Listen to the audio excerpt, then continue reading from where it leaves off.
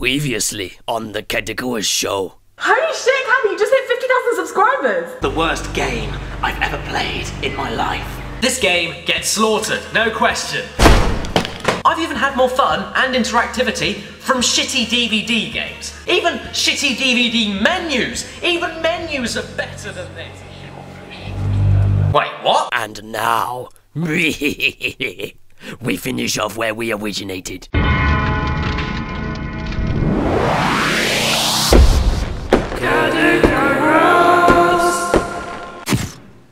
This here is a DVD, not a game.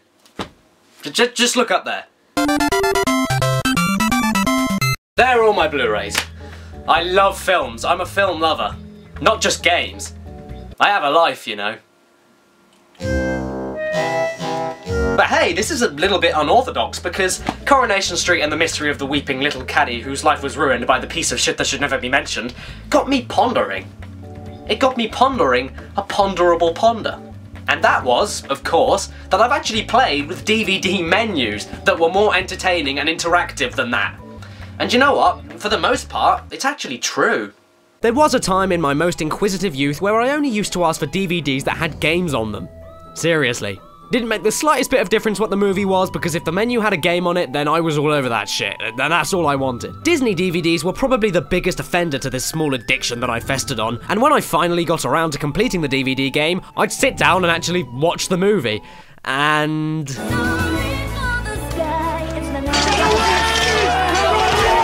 But it wasn't just Disney that exploited this. Most of the child-friendly DVDs that I ever came across always had some sort of interactivity with the DVD menus. And this the Grinch was a very, very special one.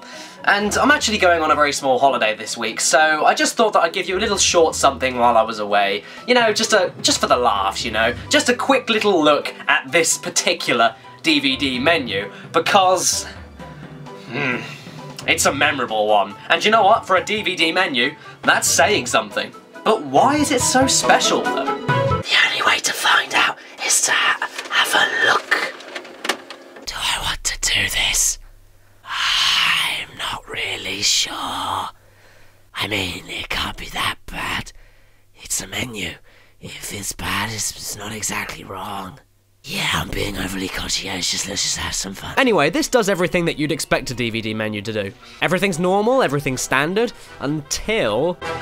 Ah, what is that? Now, already, this is a little bit interesting. I mean, it's not too often that you find a kids section on a fucking DVD menu. I mean, you'd think that the fucking film would be entertaining enough for the bloody kids. But look at it, it just beckons us. Hey kids, click here. Yeah, obviously, this had to be Max's Playhouse, the cute, kid-friendly comedy relief animal sidekick. I have a strong feeling that the Grinch's Playhouse just wouldn't have worked out. Hello, Walter. Here we go. I do hope this DVD didn't dangle the carrot for nothing. Because I want that carrot. I like carrots. Wow, here we are. And Max certainly looks like he's ready for some fun. What exactly does this have to offer me then? Let's have a little exploration. Music time is our first stop. And you know what, just watching that transition made me realise how much this place looks like Bubsy 3D. Now I'm a little bit unsettled. So anyway, Music Time features two sing-along songs, and the, all it is is they're just they're just chapters from the fucking movie with subtitles. That is so lame. And we also have a stupid music video that shamelessly cashes in with the movie. Who sang this? Faith Hill? Who? Well, one thing's for sure, I certainly have little faith on this hill. okay, let's just go to the main event. Wow, there's actually a bit of variety here. I like. Well, at least more variety than this. Let's start on rhyme time, and as the title for this game rhymes, then I think we're in good hands. Yeah, yeah, yeah, yeah, yeah, yeah, yeah. Hmm, it all seems simple enough. Pick the correct words to end the sentence. Um, what goes there? Um, that one. You did the right thing! Okay, hello Grinch, that was weird. Anyway, it actually turns out that whenever you get a rhyme correct or wrong, the DVD randomly picks a quote from the movie relative to your answer. Yes, randomly generated. Already, this is actually kind of complex. Every second, it's still getting better than this. And it turns out that these quotes are taken from a lot of scenes. You did the right thing. Stay focused. Definitely not. Somebody's fabulous. I am so proud of you. It's almost like this movie was actually just made for this little DVD minigame. I mean, why else would they remake The Grinch? And then when you get them all right, you have this disgustingly cutesy little girl read it back to you. Oh, God. The Grinch settled down in his favorite old chair. I reckon a better voice could have been used to read this out, though. The Grinch settled down in his favorite old chair.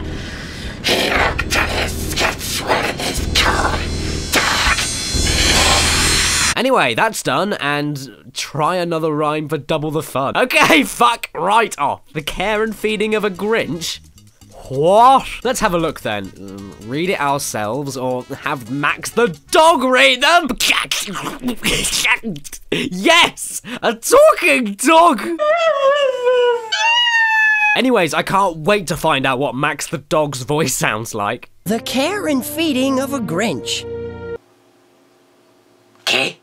The care and feeding of a Grinch.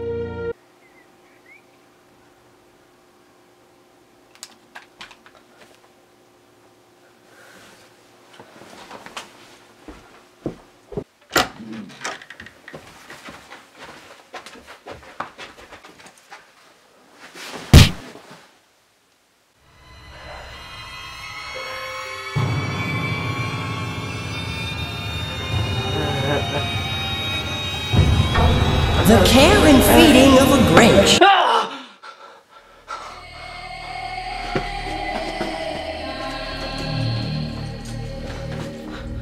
Was I dreaming? Angus, say something. Phew. So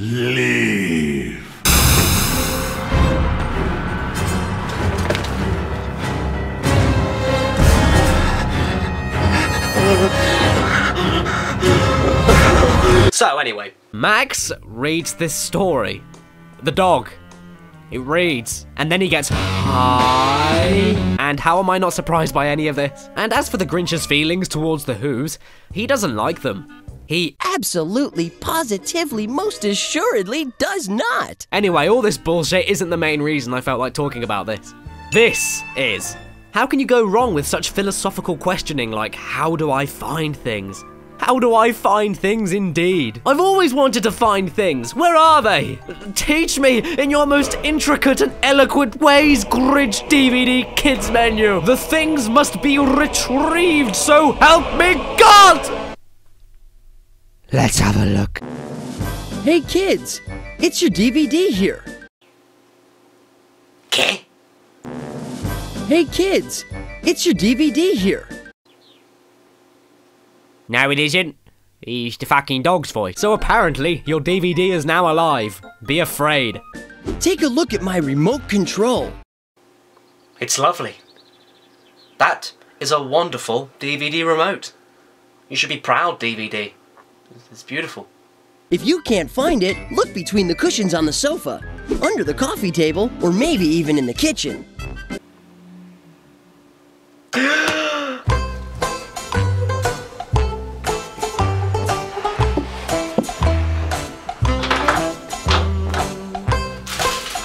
I already had it. Of course I can fucking find it. How in the holy name of Tipple do you think I even got here without the remote? What an insulting thing to say. Terrible. You'll know where you are when the picture or words glow. Right, I understand. Thank you. Isn't this thing nice? When you have decided what you want to watch, press the Enter or Select button, usually found in the center of the arrows. What is this? I mean, I have the four buttons on my remote, that's, that's for certain. But in terms of the whereabouts of the enter button, it is stationed in the middle of these given buttons, you damn lying, sinning dog of a whore! So here's the game, anyway. Looks oddly familiar, doesn't it? And yeah, it's pretty self explanatory, really. What does the dog say? Well, that's just wrong. The dog should be saying. The care and feeding of a Grinch. I just love how this even exists on a DVD menu. The reason that this feature exists on this disc astounds me. The fact that it teaches you how to use a fucking DVD player is just brilliant, due to the fact that you need to fucking know how to use a fucking DVD player in order to fucking get here. It's just kind of like, hey, you want to learn how to read and write? Well, you've come to the right place. All you need to do is read the terms and conditions and sign it at the end. I mean, the concept is just hilarious and I love it. But just before we go, let's have a quick look at Dress the Grinch, because why not? Oh, that's a good reason why we shouldn't have done that. This reminds me of a simpler time where navigating a DVD menu could actually be entertaining. And you know what? That just actually goes to show that you can get more pleasure and fun out of a DVD menu than you can out of a 2011 PC game. And the whole stupid how do I find things section of the DVD is completely and utterly pointless, bearing in mind that you need to know how to use the DVD in order to fucking get there in the first place. But guess what? Even though it's just providing you a teaching tool that you probably already know in order to get to the teaching tool, it's still more interactive than that turd down there. And you know what? Just out of all the joy that this menu has given me, this DVD gets the salvage.